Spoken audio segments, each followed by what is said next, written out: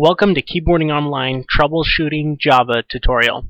This video goes over a few other troubleshooting steps to take if you have already verified that you have the most updated version of Java on Java's website, but you are still having issues. If you have not already verified your Java, you will first need to watch our video How to Install Java from our website. The first troubleshooting step is to check your Java settings. From your Start menu, click on Control Panel. Here you will have some kind of listing of your control panel options. Find where it says Java and click on it. If you can't find Java in the list, try changing the view by and change to small icons or you can actually search for it in this bar here and just type in Java and it should show up in the results. Once the Java control panel opens, first click on Advanced, which will look something like this. Find and expand the General section, which will be located under the Security. To expand each section, simply click on this box here. And go ahead and match up the settings that you see here with what your settings have on your own computer. Feel free to pause the video to make sure that it matches up exactly. If your settings are the same and it's still not working, you will next want to try resetting Java. Go ahead and open back up the Java control panel and this time click on Settings which is located on the bottom of the General tab. In the window that appears, click here on the Delete Files and in the next box that appears here, make sure that each option is checked and press OK. If you're still having issues with the program, you'll want to go ahead and remove and reinstall Java. So go back to your control panel and click on Programs and Features. This will give you a listing of all the programs that you have installed on your computer here. The listing is usually in alphabetical order, so you may have to scroll down a bit until you find Java. Then you'll want to right click on Java and click Uninstall. Your computer will probably prompt you to make sure you want to uninstall Java. Just click yes and it will begin to remove Java here.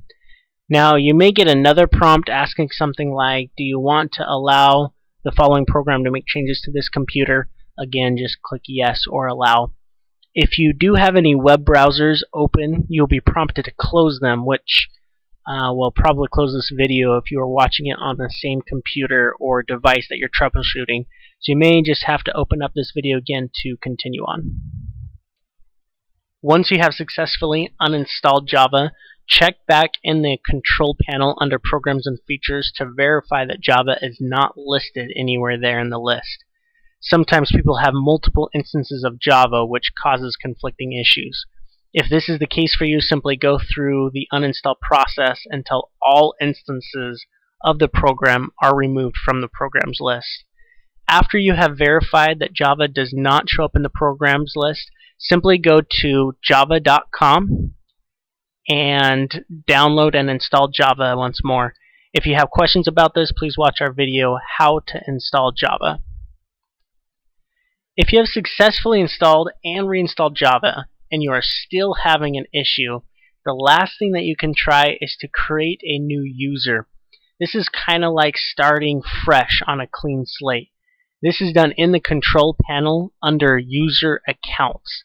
If you have questions about creating a new user, you can visit one of the three articles here and this will take you to Microsoft's support website which will take you step by step on how to create a new user depending on the platform that you are using. Once you have created a new user, simply log out of your current user and log into the new user that you created. From there, go ahead and try out the program again. If it works in the new user, that means there's some kind of third-party program that is conflicting with Java or possibly a corrupted file on your normal user account. Just log into the new user whenever you want to use the program and you should be fine from there.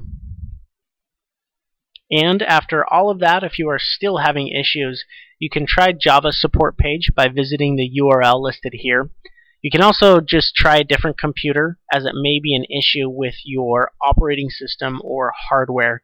Lastly, if you feel the issue may be system-wide with the website itself, please submit a ticket from our website under Contact Us, or if you go under the Tech Support, there's a Contact Us button as well there. We will try to respond to your ticket within 24 to 48 hours. Thank you and happy typing.